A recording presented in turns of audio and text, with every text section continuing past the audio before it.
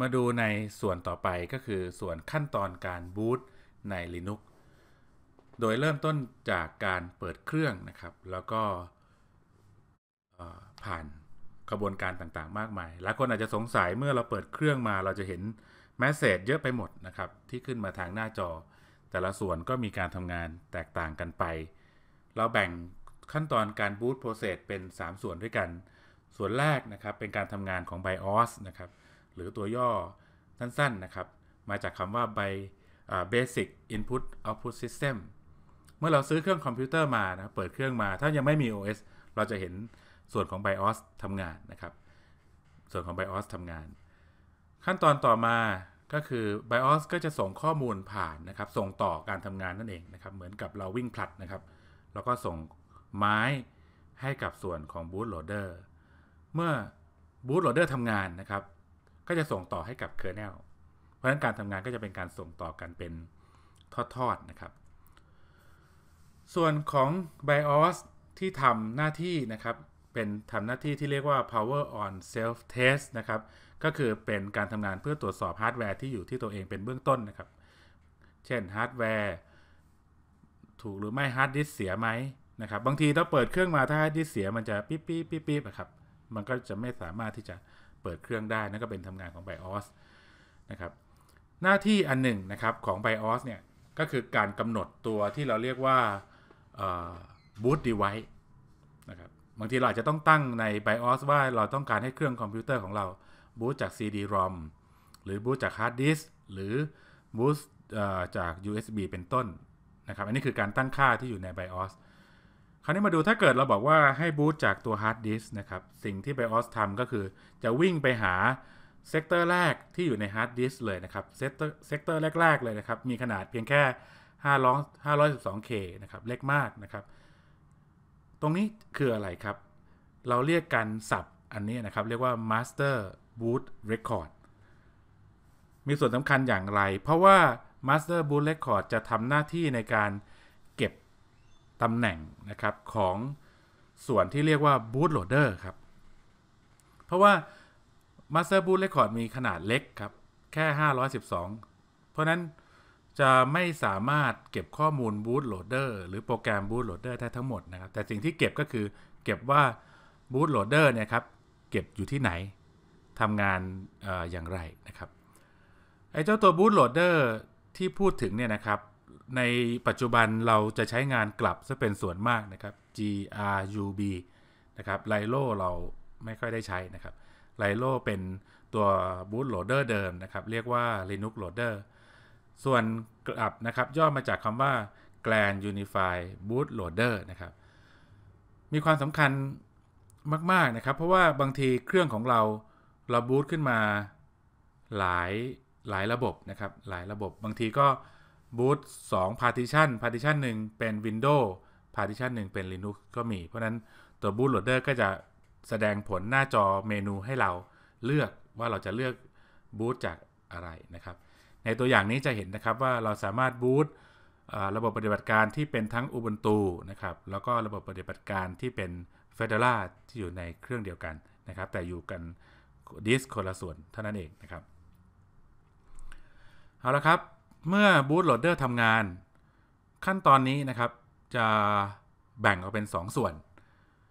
นะครับ ส่วนแรกเป็นการบูตขึ้นมาในส่วนที่เรียกว่า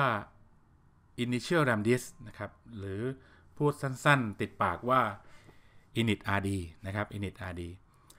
init rd จะเป็นตัวซึ่งจะรันก่อนที่จะรัน kernel จริงนะครับ เป็นตัวก่อนที่จะรัน kernel จริง เพราะว่ามันต้อง การไดรเวอร์นะครับ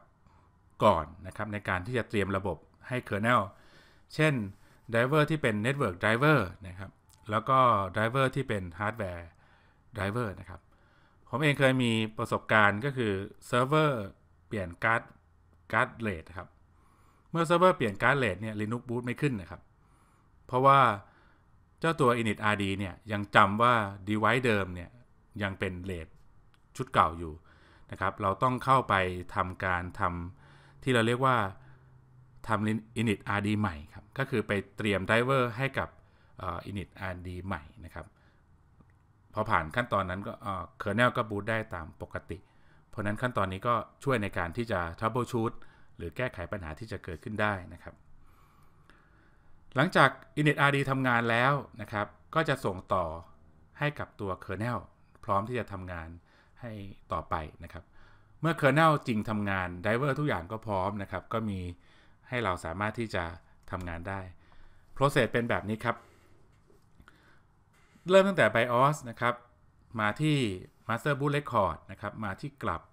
มาที่ initial RAM disk ส่งต่อไปที่ kernel นะครับ วิ่งต่อมาที่ init rd แล้วก็ run level สองส่วนหลังนะครับสองส่วนหลังเนี่ยเป็นส่วนซึ่ง เป็นการทำงานของตัว Linux นะครับ Linux ใช้มาตรฐาน Unix นะครับ เราเรียกว่า System 5 นะครับ เราไม่อ่าน System V นะครับ เราอ่าน System 5 นะครับ ซึ่งเป็นรูปแบบการทำงานเริ่มต้นระบบของตัว Unix นะครับ ดังนั้นเมื่อเราอ่านหนังสือหรือเราเรียนรู้เขาก็จะเรียก Linux เราว่าเป็น Unix Like System ก็คือเป็นระบบหรืออระบบปฏิบัติการที่คล้ายๆ กับตัว Unix นะครับไอ้ที่คล้ายกันก็คือคล้ายอยู่ที่กระบวนการการเริ่มต้นการทำงานนี่แหละครับ ก็คือมี init process แล้วก็มี run level มาดูนะครับ ในกระบวนการการทำงานของ init นะครับเป็นชื่อย่อนะครับ ชื่อเต็มก็คือเป็นเรียกว่า initialize ตัวระบบ ซึ่งระบบทุกระบบนะครับ ทุกส่วนที่เกิดขึ้นมาก็อยู่ภายใต้การทำงานของตัว system 5นี่แหละครับทีนี้รูปแบบการทำงานทำยังไงครับ เจ้าตัว init process จะเป็น process แรกนะครับที่เริ่มต้นการทำงานหลังจากที่ kernel ทำงานเสร็จนะครับ เมื่อ kernel ทำงานเสร็จ kernel ก็จะไปสั่งให้ init process เนี่ย start ดังนั้น process id หรือหมายเลขของ process ของ init จะเป็นหมายเลข 1 ครับ ทุกๆ process ที่เกิดหลังจากนี้ไป ก็เป็น process ของ process ลูกของตัว init rd นะครับในการทดสอบในครั้งนี้นะครับ เดี๋ยวเราจะมาดูเริ่มต้นตั้งแต่การทำงานที่ bootloader ในเวอร์ชั่นของ ZenOS 6.5 นะครับ การทำงาน bootloader ยังเป็น System 5 อยู่นะครับ ดังนั้นเราก็จะสามารถเข้าไปดูสคริปที่เป็นสคริปต์ init ทั้งหลายได้นะครับ แต่ละ run level แต่ถ้าเกิดเป็น ZenOS 7หรือ Red Hat 7เนี่ย ตัว Startup Initial Process ก็เปลี่ยนไปนะครับ ไม่ได้ใช้ตัว System 5 แล้วนะครับ ก็จะใช้ตัวที่เป็น System D ซึ่งเดี๋ยวเราจะได้ดูในรายละเอียดต่อ ๆ ไป ขั้นตอนแรกนะครับ เรามาดูในส่วนของ bootloader bootloader มีไฟล์ config นะครับ ให้เปลี่ยนเป็น root ก่อนนะครับ su ลบ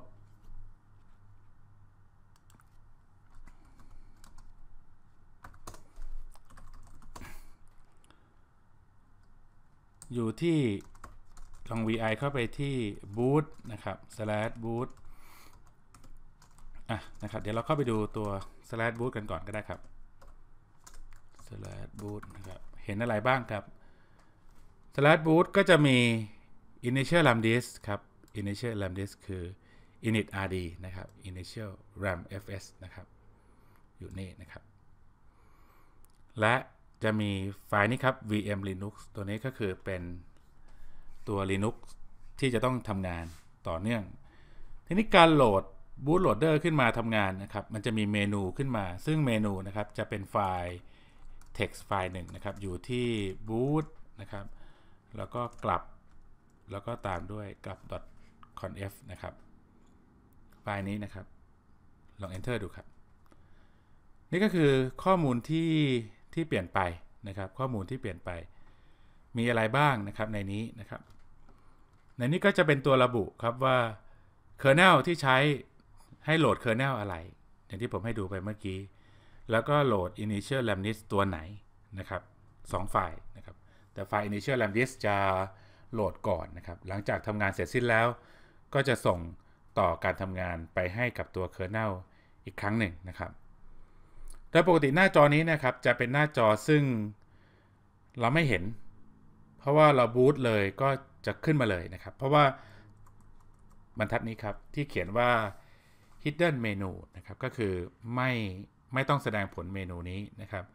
แต่ถ้าเกิดเราใส่เครื่องหมายชาร์ปนะครับใส่เครื่องหมาย sharp เป็นการยกเลิกคำสั่งในบรรทัดนี้นะครับ แล้วเรา save เรา reboot เนี่ยนะครับ เราก็จะเห็นเมนูของตัว bootloader ขึ้นมานะครับ bootloader ขึ้นมาครับให้ทำการ save ไฟล์นะครับ save ไฟล์นะครับแล้วก็ wq ออกมานะครับ แล้วลอง reboot ดูนะครับ